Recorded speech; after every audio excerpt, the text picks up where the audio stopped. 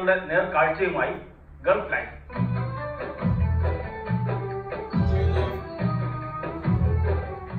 എന്റെ Gulf life തുടങ്ങുന്നത് nineteen ninety സെവനിലാണ്. എന്റെ അങ്കിളാണ് മെഹബൂബ് ആദ്യമായി എന്നെ അബുദാബിയിലേക്ക് ഒരു ജോലിക്ക് വേണ്ടി പോകുന്നത്. അവിടെ നിന്ന് അങ്ങോട്ട് തുടങ്ങി ഇത്രയും വർഷമായി സംഗീതത്തിലൂന്നിയാണ് ജീവിതം മുന്നോട്ട് പോയിക്കൊണ്ടിരിക്കുന്നത്. ആദ്യമായി ഞാൻ ചെയ്തത് ഒരു മ്യൂസിക് വീഡിയോ. അത്ര വലിയ സംഭവമൊന്നുമല്ലായിരുന്നു. അല്ലായിരുന്നു തൽക്കാലത്തേക്ക് എന്റെ ഒരു സാറ്റിസ്ഫാക്ഷൻ വേണ്ടി എന്റെ ഫ്രണ്ട്സും ഞങ്ങൾ ഞങ്ങളെല്ലാവരും കൂടി ഒരുമിച്ച് ചേർന്ന് ഉണ്ടാക്കിയതാണ് അതിനുശേഷം അതൊരു ഇൻസ്പിറേഷനായി അതിനുശേഷം സോറി ആദ്യത്തെ ആ മ്യൂസിക് വീഡിയോയിൽ നിന്നും എനിക്ക് അതെങ്ങനെയാണ് മേക്ക് ചെയ്യേണ്ടത് ആ ഡയറക്ഷൻ എങ്ങനെയാണ് അതെല്ലാം ഒരു വിധം മനസ്സിലായി. അതിൽ നിന്നും പാഠം ഉൾക്കൊണ്ട് ഞാൻ അടുത്ത മ്യൂസിക് വീഡിയോ ഉണ്ടാക്കി. അത് യു എ ഞാൻ ജോലി ചെയ്യുന്നത് യു അബുദാബിയിലായി ദുബായിലേക്ക് മാറിയതിനു ശേഷം. ഈ ജോലി ചെയ്യുന്ന നാടിനോടുള്ള ഒരു തപ്പാണ് എന്നുള്ള രീതിയിലാണ്. തോന്നി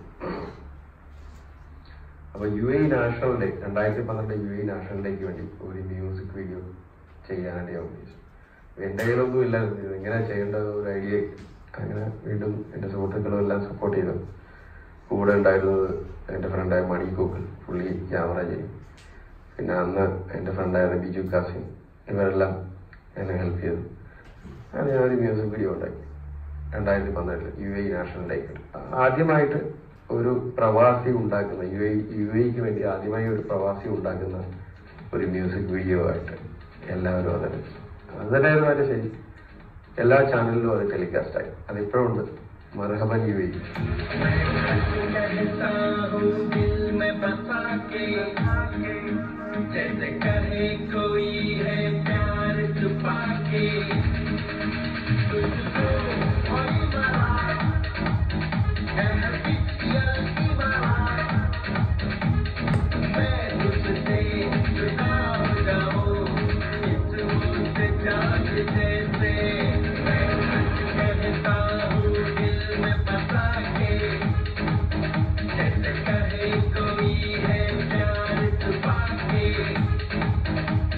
അടുത്ത ന്യൂ ഇയറിന് ഫ്രീഡം വീണ എന്നുള്ള ഒരു മ്യൂസിക് വീഡിയോ ചെയ്തു. അത്ര വലിയ പോപ്പുലർ ഒന്നും ആയില്ല.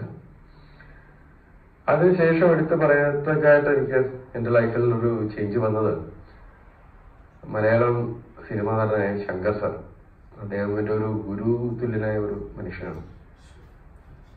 അദ്ദേഹം ഒരു മൂവി ചെയ്യാനായി ദുബായി വരികയും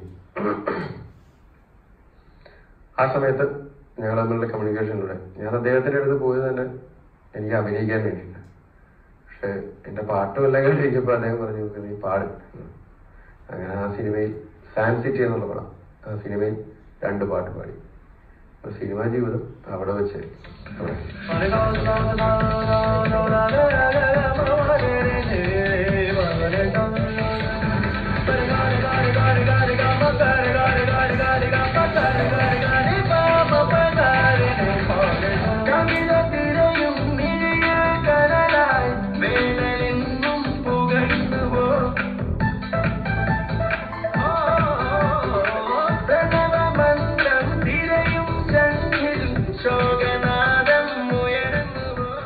അങ്ങനെ എന്റെ സംഗീത ജീവിതത്തിന്റെ ഒന്നാം ഘട്ടത്തിൽ നിന്നും ഞാൻ മുന്നോട്ട് വീണ്ടും പോയി. അതൊരു ബ്രേക്ക് ത്രൂ ആയിരുന്നു. എനിക്ക് ആ മറക്കമ്പനിയും അതുപോലെ സാൻ സിറ്റി എന്നുള്ളത് ജീവിതത്തിലൊരു ധൈര്യം വന്നു. ഒരു മ്യൂസിക് വീഡിയോ ചെയ്തു കഴിഞ്ഞാൽ എനിക്ക് മുന്നേറാവുന്നത്. അടുത്ത മ്യൂസിക് വീഡിയോ ഞാൻ ചെയ്തത് സംഗീത സംവിധായകൻ സിനിമയും ഒരുപാട് ചെയ്തിട്ടുള്ള ആളാണ് ശ്യാം ധർമ്മൻ. അദ്ദേഹത്തിന്റെ മ്യൂസിക് ഡയറക്ഷൻ റഫീഖ് അഹമ്മദ് കൈതപ്രം പിന്നെ മോഹൻ തോമസ് പിന്നെ രണ്ട് മൂന്ന് ഓം കരുവാരക്കുണ്ട്. ഇവരൊക്കെ ഇവരുടെയൊക്കെ രചനയിലുണ്ടായ വരികളിലൂടെയാണ് ഉണ്ടായത്. അതെന്റെ എറണാകുളം സരോവരത്തിൽ വെച്ചാണ്. ഞാൻ ഒന്നാറാം കുന്നിന്മേൽ എന്നുള്ള ആൽബം ലോഞ്ച് ചെയ്യുന്നത്. ഒരുപാട് സുഹൃത്തുക്കൾ എന്നെ സഹായിച്ചിട്ടുണ്ട്. അതിന് വളരെ നന്ദിയും ഈ ഘട്ടത്തിൽ ഞാൻ പറഞ്ഞുകൊണ്ടാണ്. അതൊരു ബ്രേക്ക് അതിലെ ഒരു മഴവില്ലെന്നുള്ള എന്നുള്ള ഒരു മനോഹരമായ ഗാനം. അത് ഞാൻ തന്നെ ഡയറക്റ്റ് ചെയ്തു. എന്റെ സുഹൃത്തായ ജോജു ആണ്. അത് ഡയറക്ഷൻ ജോജു മോഹൻ തോമസ് റെജിന അങ്ങനെയുള്ള ഒരുപാട് പേര് സഹായത്തോടു കൂടി ഞാനത് ഡയറക്ഷൻ ഞാൻ തന്നെ ഡയറക്ഷൻ ചെയ്തു. അത് വിഷ്വലൈസ് ചെയ്യുകയുണ്ടായി. അത് യൂട്യൂബിൽ നിങ്ങൾക്ക് കാണാവുന്നതാണ് മഴവില്ല സുൽഫികൾ അടിച്ച് കഴിഞ്ഞാൽ കാണാൻ പറ്റും. അന്നു മുതൽ ഇന്നു വരെ കനലായി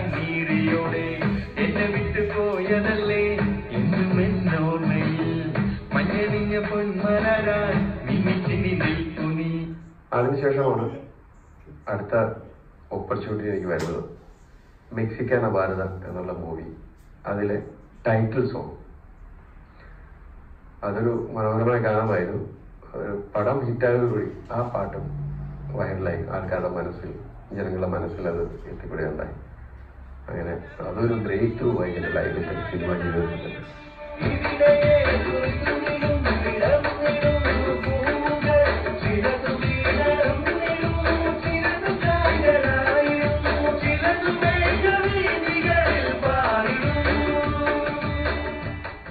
ഇതോടെ ഗൾഫ് ന്യൂസ് വീക്ക് അവസാനിക്കുന്നു.